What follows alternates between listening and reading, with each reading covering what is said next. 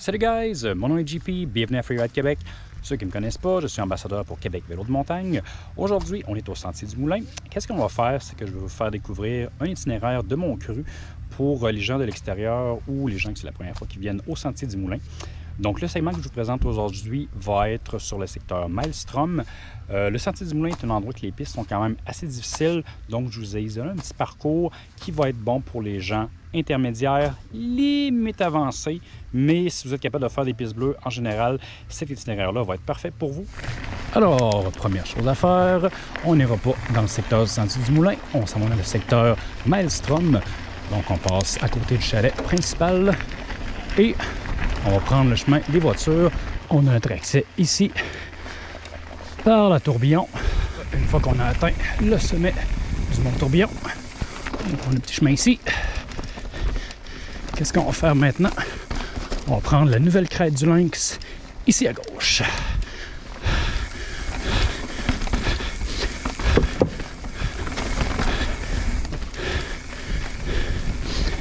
Et la première piste officielle de notre périple, la Vortex.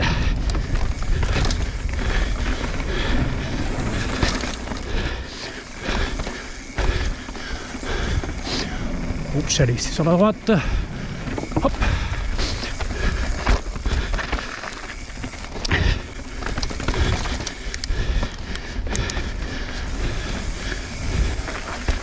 Ah.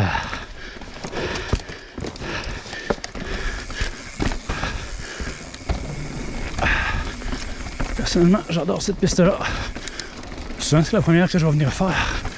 Juste pour me réchauffer un peu. Réveiller un peu la machine. Pour voir si le bike fonctionne bien. Donc, quelqu'un qui veut s'initier à un bike plus technique, qui veut pratiquer son équilibre, qui veut pratiquer euh, monter sur des roches, descendre des roches, rouler dans un terrain accidenté, sans qu'il y ait euh, trop de conséquences. C'est une piste parfaite pour ça. Et c'est probablement la plus facile secteur Maelstrom, disons avec le retour la fameuse Maelstrom elle-même, qu'on va voir à la fin du vidéo. Donc notre première section tire à sa fin. On va voir encore une petite zone de descente qui va nous amener un magnifique point de vue dès que j'ai tourné ces deux trois petits virages là.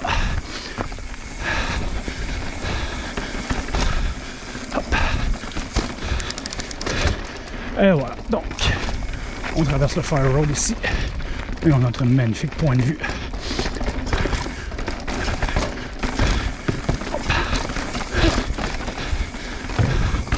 Donc la vortex continue. Cette phase-ci est un peu plus rapide. Un peu plus de dénivelé. Donc un peu plus de vitesse.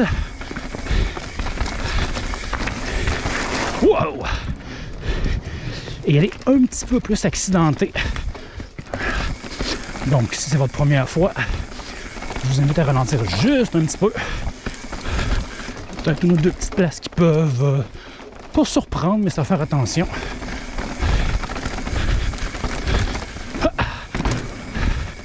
Une fois qu'on les connaît, ça va très bien.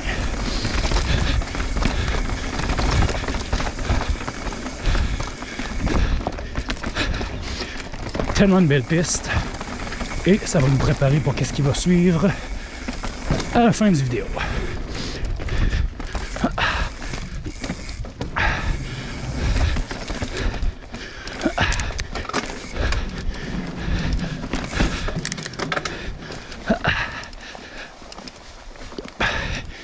fatigue dans les papates.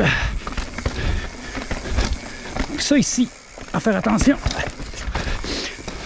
Je l'ai pris beaucoup à l'intérieur, mais vous pouvez le prendre sur la droite pour bien vous placer.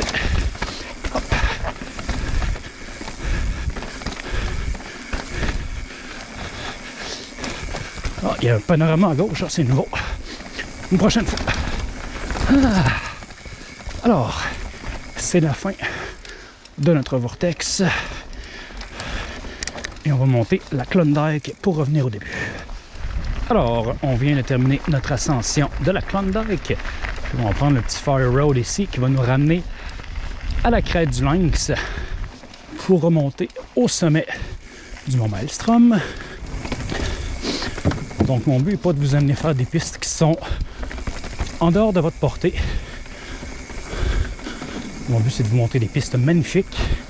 Et la Slab City, c'est réellement quelque chose qu'il ne faut pas passer à côté. Alors, on est en haut de la Slab City. Je vous invite à bien regarder les vidéos, voir un petit peu qu'est-ce que je fais et aussi qu'est-ce que je ne fais pas. Donc, comme je vous disais, c'est une piste qui est avancée. Donc, c'est une noire. Une des deux raisons pourquoi c'est une noire, c'est qu'il y a certaines places qui peuvent avoir euh, des zones de compression. Donc, des endroits où la roue d'en avant, pas qu'elle va coincer le sol, mais elle peut coincer. Donc, en faisant une piste comme ça ici, c'est important de regarder loin en avant. Et puis, à votre première sortie, faites-la pas rapidement. Si c'est votre deuxième, faites-la pas rapidement.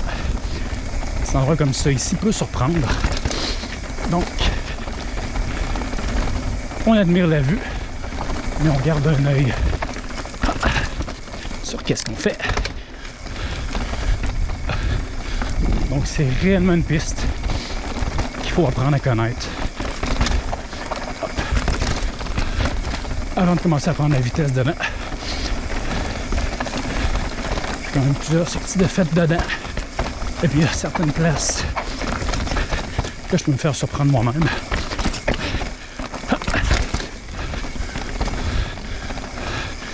Ça ici, pour les besoins du vidéo, je la fais pas trop vite. Premièrement parce qu'il faut que je parle. Puis je vais vous montrer comment bien la faire. Oh, on a un petit plein ici dans le milieu. Donc le premier truc que je vous disais, c'était de faire lentement. Je vais vous donner un deuxième truc. C'est très simple, ça va être de prendre une pause de là. Personnellement, je vais la faire au complet. Mais ce que je vous invite à faire, ça va être de profiter du panorama un petit peu plus loin dans la piste. Une très très belle place. Un peu de temps pour prendre de magnifiques selfies pour Instagram et Facebook et compagnie. Je vous suggère de prendre une pause à cette place-là pour reprendre ses esprits, pour repartir confiant sur le bike. Donc rendu ici, on a un petit peu plus la moitié de la piste de fête. Profitez du panorama. Ici, c'est tellement beau. Profitez-en pour relaxer un petit peu. Comme je vous dis, je vais continuer. Donc la piste s'en vient ici à droite. On va avoir un petit peu plus de challenge technique. Donc pour les riders avancés, pardon, intermédiaires, qui veulent tenter la Slab City, que ce soit pour faire une piste unique, que ce soit pour le panorama, à partir d'ici, on va ralentir la cadence un peu. On a encore un peu de slab à faire. Hop.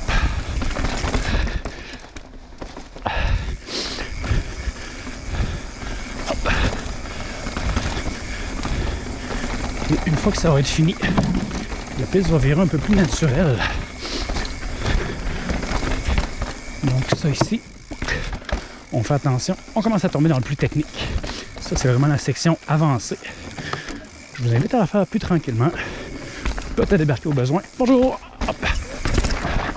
Ça ici, comme mes collègues à gauche à droite ont fait. Petite section de roche ici. Pas facile. Tout se roule tout se roule facilement, mais tout se roule. Si à un certain point vous n'êtes pas à l'aise, pas compliqué, embarquez du bike et faites-le à pied. Donc notre aventure dans la Slav City tire à sa fin.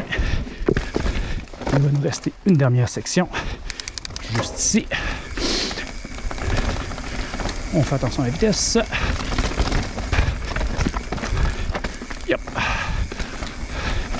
Et ça ici, la section la plus difficile de la piste. Une collègue ici marche. Hop. On contrôle la vitesse. Et voilà.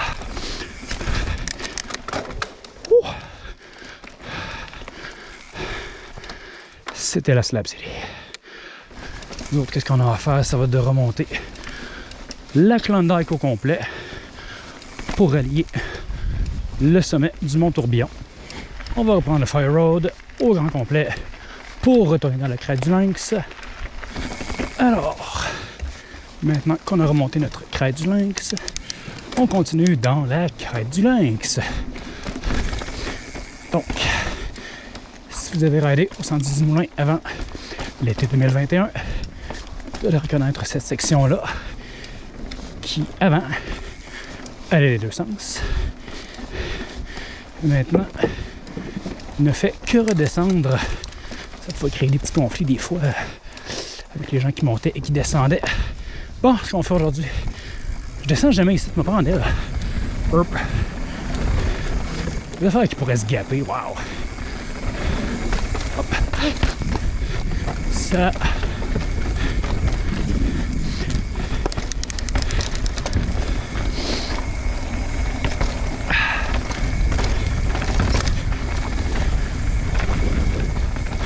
à ce moment-ci, on a une bonne partie de notre périple de fait.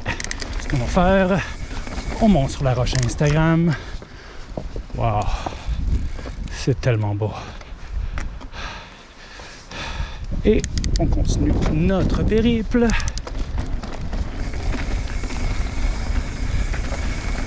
Et on s'en va terminer par la Maelstrom.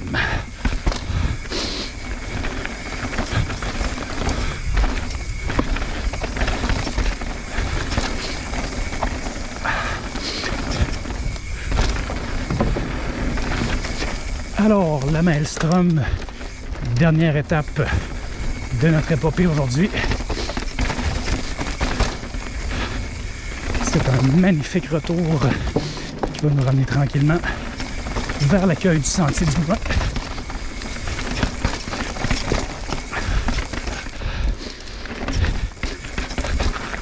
Donc la Maelstrom est une piste bleue qui devrait être bien pour tout le monde.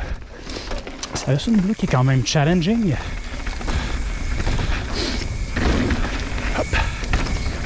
Bon potentiel de vitesse. Quelques petits obstacles à faire attention si c'est votre première fois.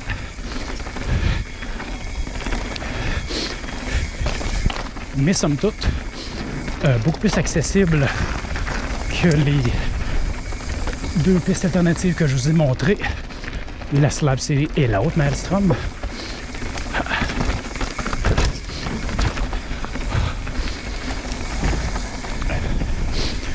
J'ai vu les parents amener leurs enfants de à peu près 8 ans ici, puis c'était pas un problème. De toute façon, je vous rappelle que c'est du vélo de montagne. C'était fait pour brasser un peu.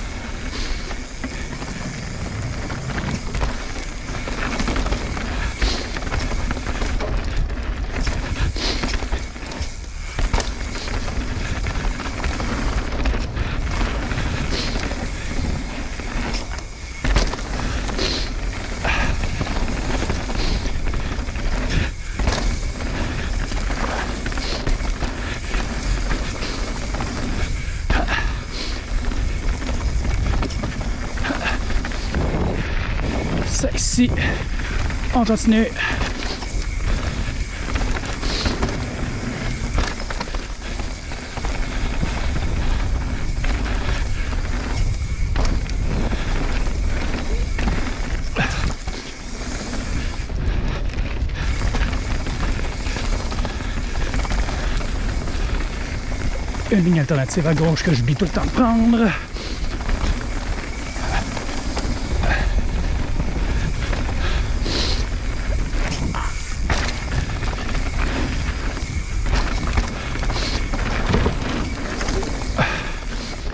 Tellement de belles pistes. Un beau flot naturel.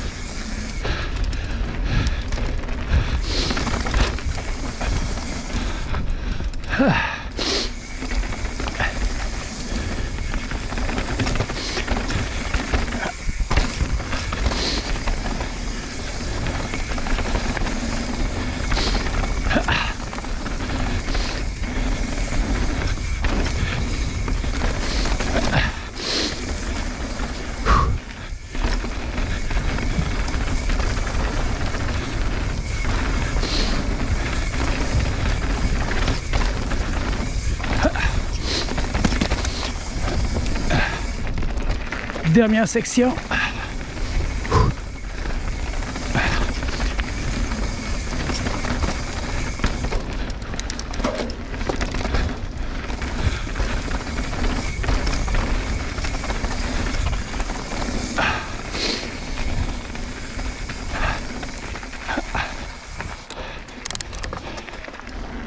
Donc, tout ce qu'il nous reste à faire, ça va être de redescendre par le petit quartier résidentiel ici, regagner le chemin principal et retourner au chalet du Sentier du Moulin, prendre un bon burger et une bonne IPA. J'espère que vous avez apprécié ce petit épisode. Et on se voit dans le prochain épisode de Free Québec. Salut guys!